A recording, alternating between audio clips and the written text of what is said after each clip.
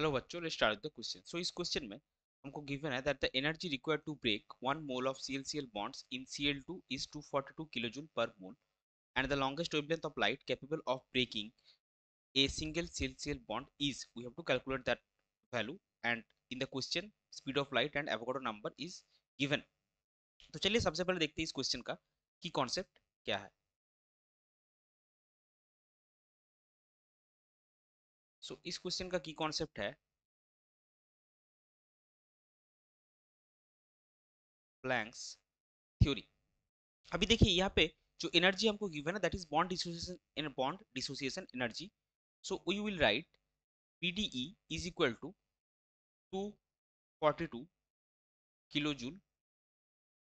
mole inverse, that is equal to 242 into 10 to the power 3 joule mole inverse. अभी ये जो एनर्जी है, ये पर मोल, एक मोल क्लोरीन मॉलिक्यूल के है, लेकिन हमको एक सिंगल सी एल बॉन्ड चाहिए, ब्रेक करना है that is we need to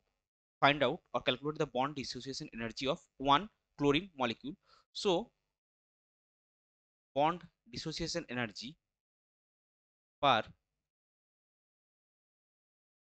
molecule will be is equal to 242 into 10 to the power 3 divided by Avogadro number that is 6.02 into 10 to the power 23 joule and this will be our E that is energy. Now according to Planck's theory we know E is equal to hc by lambda therefore lambda is equal to hc by E and in the question it is given C is equal to 3 into 10 to the power 8 meter per second and h is the Planck's constant that will be 6.626 into 10 to the power minus 34 joule second. Now we will put the values of C, H and E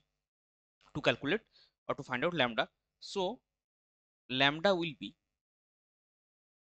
HC by E that will be 6.626 into 10 to the power minus 34 into three into ten to the power eight metre per second into Avogadro number will be here